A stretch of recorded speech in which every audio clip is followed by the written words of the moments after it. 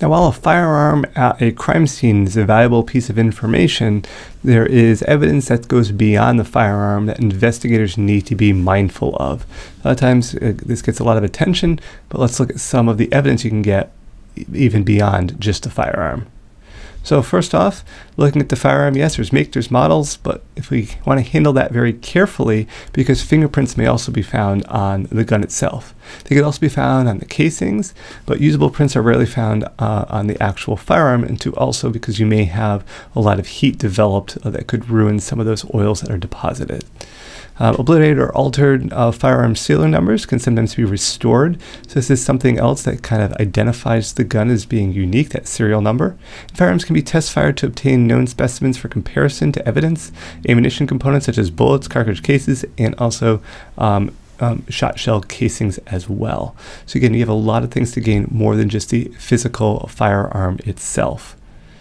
Now you also have a trigger pull examination. So what does that refer to?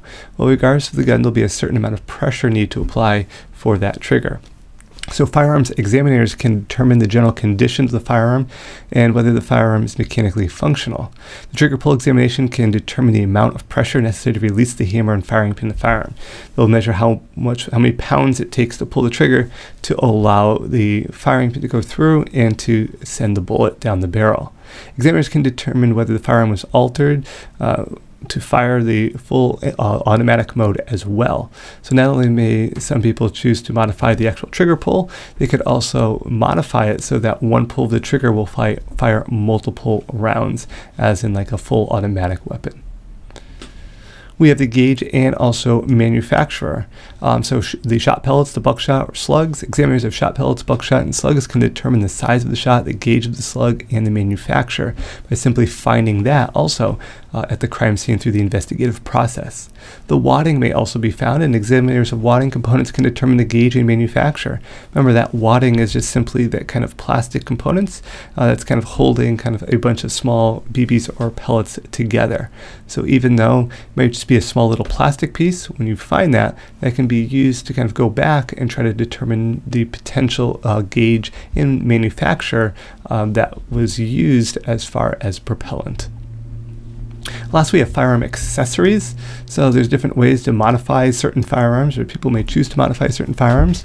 Uh, the shot pattern examiners can determine the approximate distance at which a shotgun was fired by testing specific firearm ammunition combinations at known uh, points two, between two points, how far was that shooter away?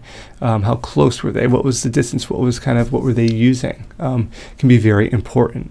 Silencers, as we see here, attached to these, and again, it's not just your can be used to handguns and not just your large or long rifles here. This is a cutaway what a silencer may look like. There are attachments that can be reduce the noise of the firearm by suppressing the sound during firing. Tests can be determined whether a muzzle attachment can be classified as a silencer upon measuring this, the sound reduction. There's also other gun parts in, that can be examined to determine the caliber or model of the gun and what parts were um, originated, what modifications were made. Um, again, all these little factors come into play. They go just beyond the standard uh, shotgun manu manufacturer or handgun manufacturer, rifle manufacturer.